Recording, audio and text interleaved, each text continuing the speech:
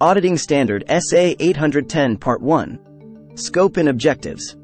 Auditing Standard 810 provides guidance to auditors when reporting on summary financial statements. These statements are a condensed version of an entity's financials, providing a snapshot of its economic resources or changes over a period. The auditor's objectives are to accept the engagement, form an opinion on the summary financial statements, and express that opinion in a written report. Engagement acceptance. Before accepting the engagement, the auditor must ensure they have audited the financial statements from which the summary statements are derived. They also evaluate the applied criteria for preparing the summary financials and consider factors like the nature of the entity and the needs of the intended users. Nature of procedures. The auditor evaluates whether the summary financials are properly disclosed and agree with the audited financials.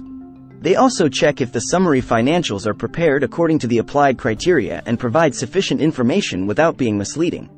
Form of opinion. When expressing an unmodified opinion, the auditor can use specific phrases to indicate consistency or a fair summary of the audited financials. If required by law or regulation, different wording may be used, and the auditor should ensure users understand the opinion. Timing of work and events subsequent to the date of the auditor's report on the audited financial statements. The auditor's report on the summary financials may be dated later than the report on the audited financial. However, it should state that the summary financials do not reflect post-report events that might affect the audited financials.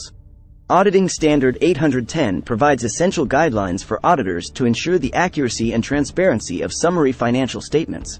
Remember, auditors play a crucial role in maintaining financial integrity and trust. Thanks for watching.